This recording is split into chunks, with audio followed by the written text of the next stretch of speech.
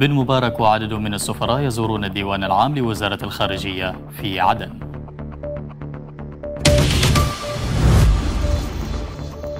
محافظ عدن يؤكد أولوية المشاريع التي تخدم المواطنين.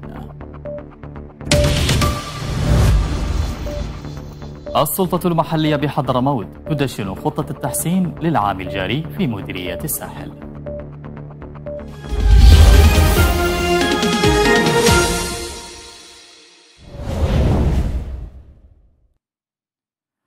أخبار جديدة من تلفزيون حضرموت نبدأها بهذا الخبر. قام وزير الخارجية وشؤون المغتربين الدكتور أحمد عوض بن مبارك ومعه عدد من السفراء والدبلوماسيين الأوروبيين المعتمدين لدى بلادنا بزيارة المبنى الجديد للديوان العام لوزارة الخارجية في العاصمة المؤقتة عدن. وأوضح بن مبارك أن وزارة الخارجية ستستأنف قريبا نشاطها الدبلوماسي بكامل طاقتها الحالية من العاصمة المؤقتة عدن. وستشهد نقلة نوعية وتحقق إنجازات جديدة مؤسسية وإدارية ودبلوماسية تساعد على تعزيز دورها الوطني في إنهاء الانقلاب وإعادة بناء مؤسسات الدولة. مؤكدا أن هذه الخطوة من شأنها تعزيز الحضور الدبلوماسي وتشجيع البعثات الدبلوماسية على استئناف مهامها من العاصمة المؤقتة عدن. هذا وعبر السفراء عن دعمهم لهذه الخطوة وتعاونهم الكامل مع وزارة الخارجية.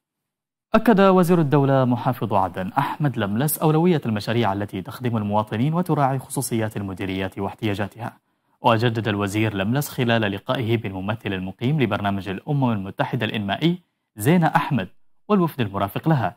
استعداد السلطة المحلية لتقديم جميع أوجه الدعم وإعطاء التوجيهات اللازمة وإزالة أي معوقات تعترض تنفيذ هذا المشروع وغيره من المشاريع التي تطلع بتنفيذها الجهات المانحة.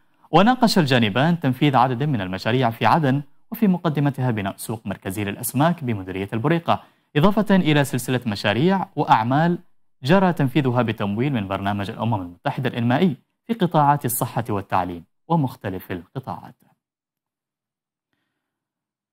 أكد وزير الأشغال العامة والطرق المهندس سالم الحريزي حرص الوزارة على إيلاء شبكة الطرق في مديريات محافظة رحج وباقي المحافظات المحررة الاهتمام والأولوية وتكثيف العمل لتذليل الصعوبات التي تواجه تنفيذ مشاريع تأهيلها بالتعاون مع صندوق صيانة الطرق والجسور المركز الرئيس بعدن جاء ذلك خلال الاجتماع الذي عقده الوزير الحريزي في المركز الرئيس لصندوق الطرق بعدن مع المهندس معين الماس مدير الصندوق بحضور المدير العام لمديرية المفلحي لمناقشة أعمال استكمال مشروع طريق بئر العروس عقور وادي بن جعفر وجرى في الاجتماع الاتفاق على آليات بدء تدخل صندوق الطرق لاستكمال المشروع الذي شهد أعمال التأهيل في السابق من قبل أبناء مديرية المفلحي وتوقف فيه العمل بسبب شحة الإمكانات.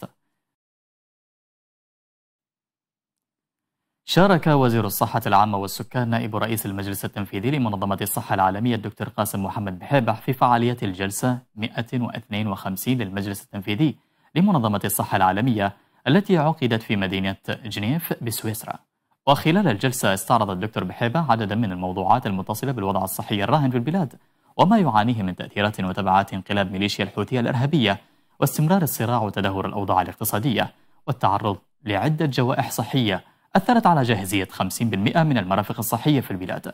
مشيدا بدور منظمة الصحة العالمية في دعم القطاع الصحي في بلادنا مشددا على الحاجة لتطوير أنظمة الاستجابة الصحية الطارئة للمنظمة. وتعزيز التأهب والترصد والاستجابة للطوارئ الصحية ودعم المكاتب الإقليمية والقطرية للمنظمة للقيام بدورها في بناء قدرات القطاع الصحي خصوصا في الدول التي تواجه طوارئ صحية ومنها بلادنا دشن وكيل محافظة حضرموت للشؤون الفنية المهندس أمين سعيد بارزيق سعيد بارزيق خطة التحسين للعام الجاري لمديرية الساحل في مدينة المكلا.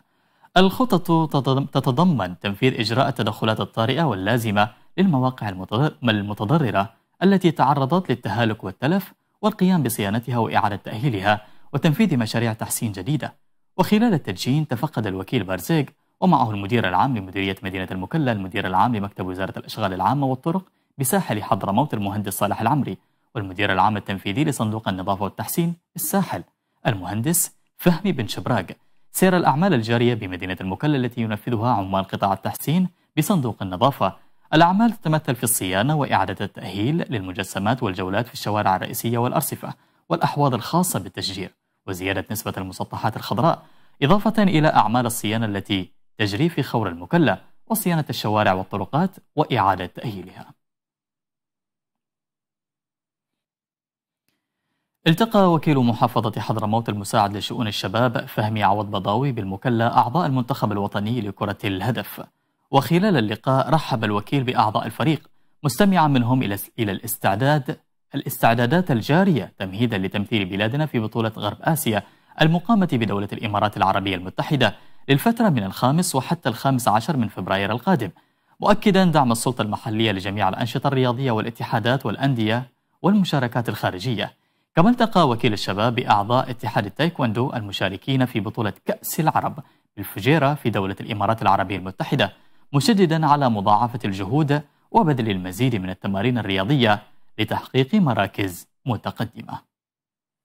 رأس مدير مكتب وزارة التربية والتعليم بساحل حضرموت أمين عبد الله بعباد اجتماعا للجنة الخاصة بإعداد الخطة الاستراتيجية لمكتب الوزارة بالمحافظة وناقش بعباد في الاجتماع ما تم إنجازه في هذا الجانب من قبل المختصين من رؤساء الشعب والدوائر والأقسام بالمكتب مؤكدا أنه منذ توليه دفة العمل التربوي والتعليمي حرص على وضع خطة متكاملة لمصفوفة الاحتياجات وفقا ورؤية توجيهات قيادة السلطة المحلية بالمحافظة. ممثلة بالأستاذ مبخوت مبارك بن ماضي محافظ محافظة حضرموت. مشيرا في الوقت ذاته إلى ضرورة العمل لإنجاز هذه الخطة بأسرع وقت ممكن. ناقش المكتب التنفيذي بمديرية الشحر في دورته الأولى للعام الجاري برئاسة المدير العام للمديرية عادل أحمد بعكابة. تقارير عن الحالة الأمنية للعام المنصرم وسير الدراسة والمؤشرات التعليمية ومحطة الفقيد السقطري والاستعداد للصيف القادم إضافة إلى تقييم اجتماعات المكتب التنفيذي خلال الفترة الماضية. واستهل الاجتماع بدعوة المدير العام أعضاء المكتب التنفيذي لبذل مزيد من الجهود الرامية إلى تحسين أداء عمل المكتب ورفع الإيرادات. ليتم بعد ذلك مناقشة تقارير الدورة يخرج أعضاء المكتب التنفيذي بعدد من التكليفات والتوصيات. إلى هنا نكون قد أنهينا نشرتنا الإخبارية. نذكر بأبرز ما جاء فيها. بن مبارك وعدد من السفراء يزورون الديوان العام لوزارة الخارجية في عدن.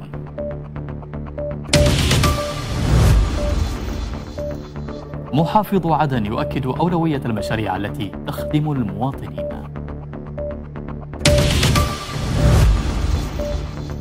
السلطة المحلية بحضرموت تدشن خطة التحسين للعام الجاري في مديرية الساحل. ولمتابعة المزيد من نشراتنا الإخبارية يرجى زيارة حساباتنا على مواقع التواصل الاجتماعي تلفزيون حضرموت دمتم في رعاية الله وحفظه.